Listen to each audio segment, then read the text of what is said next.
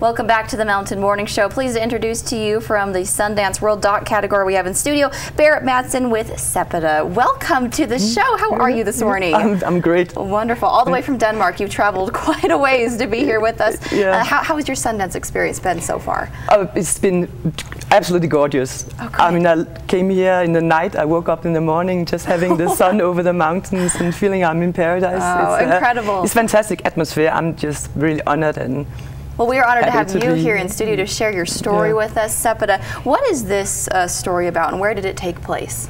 Well, it's, it takes place in Iran. It's uh, about a young girl, Sepideh, who uh, wants to become an astronaut, and who obviously have to uh, to fight a lot to uh, to determine her own life.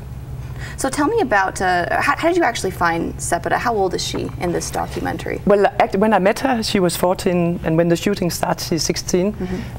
Um, I just happened to uh, find her. I heard about, I know Iran before uh, making the film, and uh, I heard about astronomy festival, and uh, boys and girls would go out at night. It was a place far away from Tehran, really in the middle of nowhere, and uh, it just sounded so bizarre for me. So I, I, I needed to go there, and just one night there was this young girl coming with this, you know, monster of a telescope and being really, really obsessed about, the, you know, studying the universe. And um, I was caught just instantly. Wow. So Yeah. tell me about what we actually will see Sepideh do in this documentary. She's dealing with some conflicting situations, whether Yeah. it be relationships with her family or roles of women, even about what she should and shouldn't be doing. Yeah. Explain that.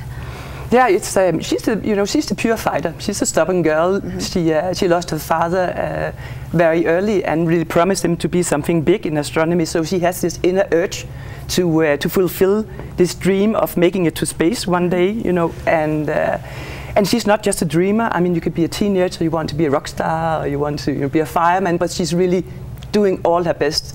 And and it's also about being able to uh, determine your own life. It's a film actually full of hope that shows, you know, the incredible power and uh, open-mindedness of, of young people in Iran. For her, it's a very special story of, you know, wanting to, to become an astronaut and all, all she has to go through with her family and everybody. That's really, you know, when she strives for the stars, everybody is trying to, to pull her down. But she is also, in one way, um, you know, representing, um, you know, the future of Iran, young people. That's That's incredible. It gonna expect a lot good from them. That's that's so spectacular. You say that this uh, whole, whole film process took about five years, right, Yeah. to put together. We're going to share with you guys a clip from it, uh, Sepideh. Here it is right now from the World Documentary category.